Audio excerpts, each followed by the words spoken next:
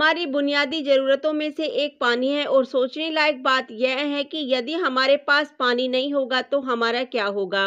जिस प्रकार से हम जल का व्यर्थ अपव्यय कर रहे हैं, उससे यह लगता है कि वह दिन दूर नहीं, जब इस ग्रह पर पीने के लिए पानी बहुत कम बचेगा।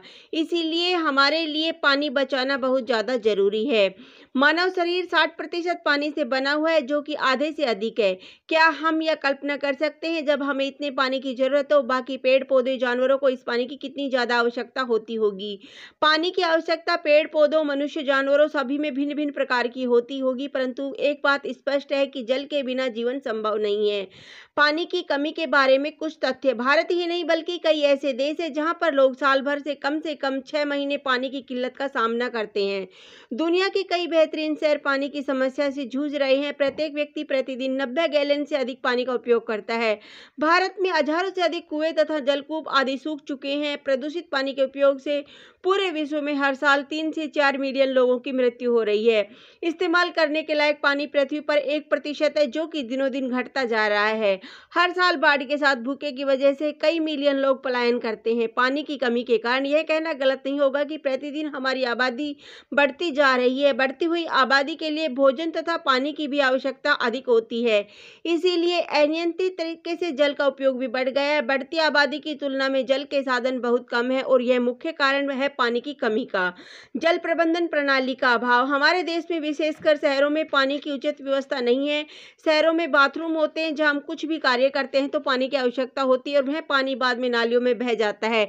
यहाँ पर एक अलग निकास प्रणाली होनी चाहिए जिससे कि हम जल का पुनः उपयोग कर सके। रसोई घर में काम में लिया जाने वाला पानी का उपयोग पुनः वापस किया जा सकता है, परंतु अभी तक इसके लिए उपयुक्त संसाधनों का अभाव होने के कारण यह संभव नहीं है।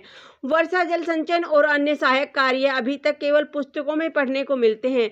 बहुत कम ही लोग हैं जो जल बचाने के लिए इन तरीकों का उपयोग वनों की कटाई, पौधे हमें ऑक्सीजन ही नहीं देते, बल्कि हमें भोजन तथा यह हमारी वर्षा देने के लिए भी जिम्मेदार होते हैं।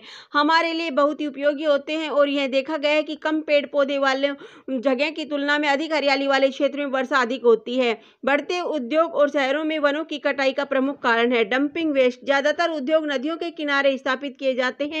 नदियाँ भारत में जल का प्रमुख स्रोत है, परंतु उद्योगों द्वारा अपना कचरा इन नदियों में बहा दिया जाता है। साथ ही साथ मनुष्य द्वारा भी अपने अपशिष्ट पदार्थ नदियों में फेंके जाते हैं, जिसके परिणाम स्वरूप नदियाँ प्रदूषित हो जाती है और हमारे लिए पीने योग्य पानी नहीं रहता है। पानी की समस्या कम करने के लिए उपाय, पानी की समस्या कम करने के लिए सरकार द्वारा पानी बचाओ अभियान चलाया गया है, जिसके माध्यम से बारिश के पानी को इकट्ठा करके उसे उपयोग में लाना और इसके अलावा गंदे पानी को वापस शुद्ध करके सिंचाई के लिए काम में लेना इत्यादि काम किए जा रहे हैं। निष्कर्ष, प्रकृति में पाई जाने वाली हर वस्तु की देखभाल की आवश्यकता होती है, चाहे वह हवा हो, पानी हो, वन हो, प्रकृति से संबंधित कोई भी चीज़ है, उसकी देखभाल ज़रूरी है। जिस प्रकार हमें हमारे अपने प्रिय है, हमें उनकी देखभाल करनी चाहिए, क्योंकि एक बार यदि हमने उन्हें खो दिया तो हमें वापस नहीं मिलते। उसी प्रकार प्रकृति भी है। हमें इसकी देखभाल करनी चाहिए और उससे मिलने वाली सभी सुविधाओं के लिए इसका आभार व्यक्त करना चाहिए। यदि हम उसकी देखभाल करेंगे तो हमें इससे प्राप्त होने वाली वस्तुएँ निरंतर प्राप्त होती रहेंगी। प्रकृति ही से ही हमें जल मिलता है। जल के बिना हमारा जीवन संभव नहीं है।